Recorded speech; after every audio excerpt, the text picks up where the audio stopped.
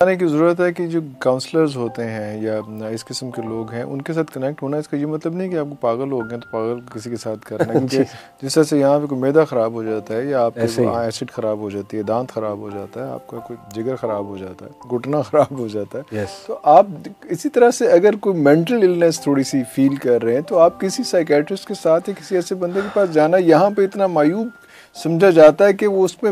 अलग ही नहीं टूटती वो बातें वहीं पे ख़त्म हो जाती हैं और घबरा जाते हैं और भटकते रहते हैं कंफ्यूज रहते हैं। हमारा कल्चर अनफॉर्चुनेटली कंजर्वेटिज्म में इतना आगे चला गया कि ना हमें सप्रेशन सिखाई जाती सप्रेशन ऑफ़ इमोशंस जबकि नबी अकरम सल्लल्लाहु अलैहि वसल्लम को हम देखें तो ही वाज वेरी एक्सप्रेसिव रोते भी थे।